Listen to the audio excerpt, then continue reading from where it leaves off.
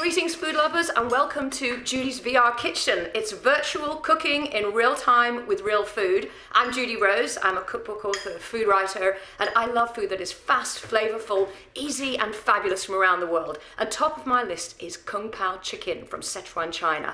It's succulent chicken with soy sauce and fresh zingy flavors. In goes the soy sauce. Fresh zingy flavors like ginger and healthy fresh veggies, peppers, and gorgeous bok choy and spring onions and all kinds of good stuff. So first up, I'm marinating my chicken. It's said I said it's fast and easy. I've done it. That's it, and it's going into the pan. I've got my wok burner here.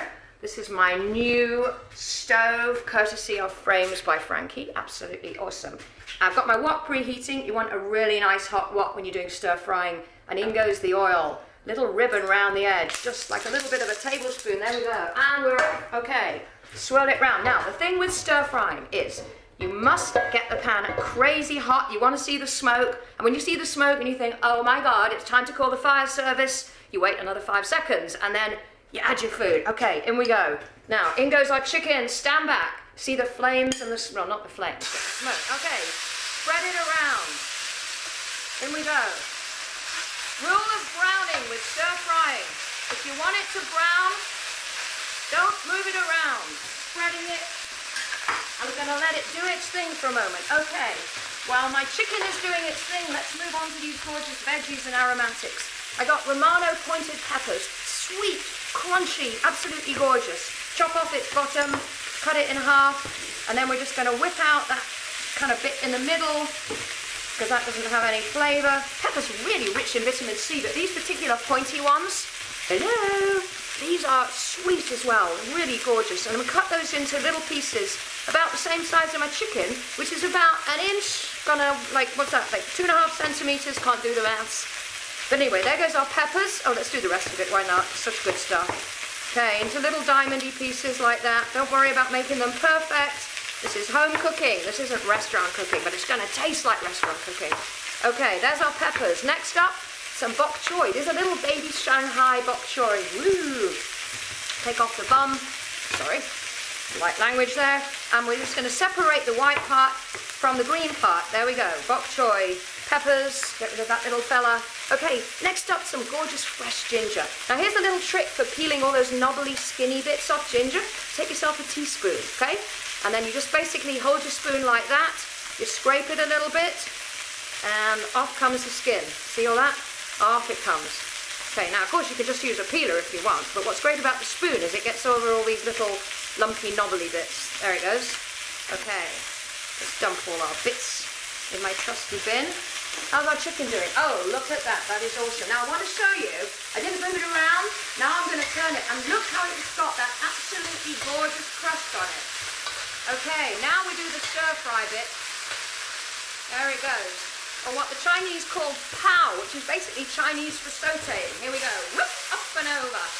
There we go. It's pao. In the Chinese restaurants where they have the woks this big, they have the guys do this. Women aren't allowed to do it because no, no, it's not woman's work. Okay, a couple of thin slices of ginger here. And those are going to be our aromatics. Those are going to pop in the bottom of the wok when we get on to our last part.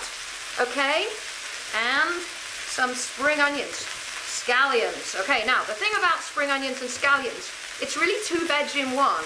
You got the white part, which is like onion, but then you got the green part, which is really like a herb, a herb. Lovely, rich, aromatic. We're just going to roughly chop that. And our white part, we're going to do in some little diamondy bits. Now what's great about this, you see your chicken is doing its thing, it's basically already done, and pretty much everything else now is done apart from a little bit of uh, chili and some brown bean sauce. We'll come to that in a minute. Okay, let's move our guys over here. Chicken, beautiful. Look at that. Okay, chicken is going to go into a little dish, authentic Chinese dish from Chinatown in Manhattan. And by the way, we're in London today.